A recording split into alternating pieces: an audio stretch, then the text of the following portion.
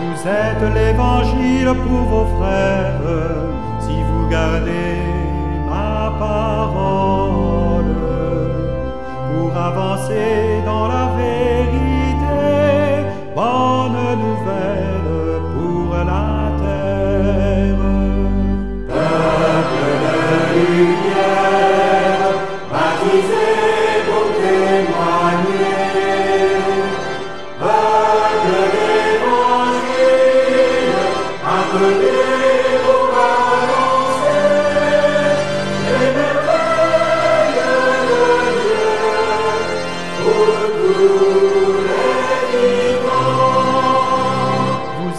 l'évangile pour vos frères, si vous marchez